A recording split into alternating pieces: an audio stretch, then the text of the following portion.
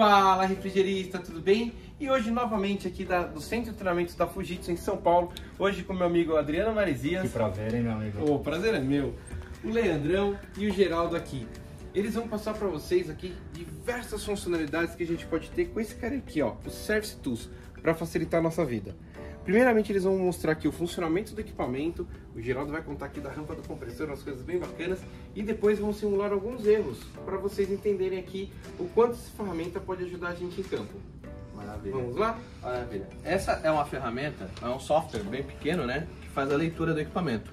Então a gente vai mostrar na prática, ligando o equipamento, a funcionabilidade dele. Tá? O que, que nós temos aqui? Temos todos os parâmetros de funcionamento do equipamento. Temos aqui a rotação do compressor, a rotação da válvula, a abertura da válvula de expansão, é, temos as temperaturas externas, a rotação, a temperatura do compressor, a tensão que sai é, para o compressor e aqui também a gente vai informar sobre o código de erro quando apresentar. Então, todos esses parâmetros, Geraldo, põe na tela ali o gráfico para gente. Lembrando, pessoal, que o Leandro comentou dos parâmetros aqui, a gente consegue ver esses parâmetros também em gráfico, tá? Esse software de monitoramento, ele consegue é, gravar até 120 horas de funcionamento tá, do equipamento. Então você monitora até 120 horas. Aqui está mostrando a frequência do compressor, né? Aqui é também a rotação do motor ventilador, é, a válvula de expansão eletrônica, ela não precisa estar aberta 100%, tá vendo? Aqui ela está, é, no, no, caso desse equipamento, é até 480 pulsos e está mostrando que aqui é a temperatura de descarga. Eu consigo também, pessoal, fazer a modificação aqui, ó. Se essa temperatura de descarga, eu consigo modificar aqui, ó. Vamos colocar a corrente do, do equipamento. Na verdade, a, a temperatura setada aqui.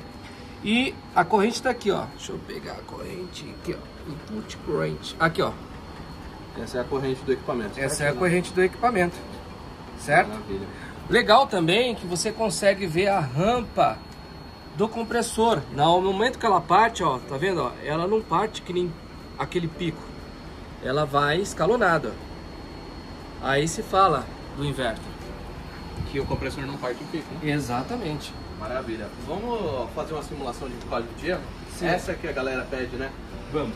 Então a gente vai desligar rapidinho o equipamento, porque a gente não deve... Marizia, por favor, dá esse recado pra galera. Vai. Galera, ó, tem um amigo nosso que sempre comentou que notebook tem que andar com o técnico.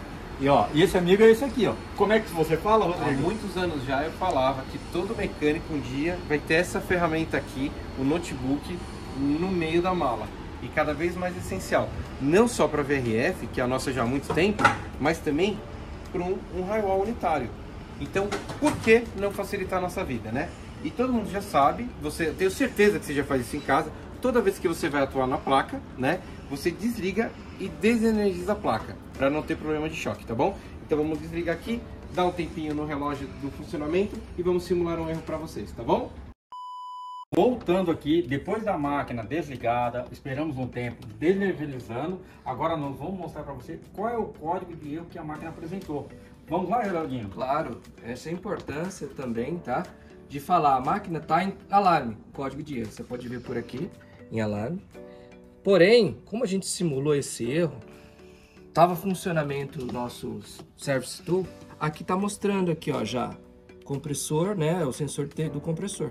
Realmente, se você ver aqui na placa, tá aqui, ó, foi tirado o sensor do compressor, certo? Lógico, cara, esse é um diferencial muito bom para quem está em campo. Claro, quem não tiver, né, vai olhar no nosso aplicativo de código de erro. Através né, desse aplicativo você vai conseguir resolver também esse problema, ok?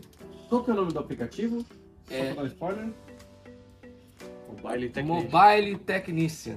Ah, então vai lá no Mobile Technician e vai procurar as sete piscadas mais as duas piscadas. E olha, não é que bateu aqui na tela? Bateu, 7 2? bateu. 7 Olha que bacana, né? 7 e 2. Certo? E vai, não conta muito não, Geraldo. Isso daí vocês vão contar só no próximo vídeo Ah, oficial. cara. Leandro, dá um recado pra galera. Lembrando que a gente precisa, toda vez essa parte é, elétrica, procure uma empresa especializada para realizar a manutenção dos serviços ar-condicionado Fujitsu. Com certeza.